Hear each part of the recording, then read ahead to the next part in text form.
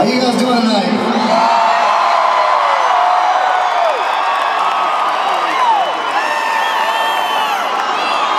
So good to be here, man. Thank y'all for coming out.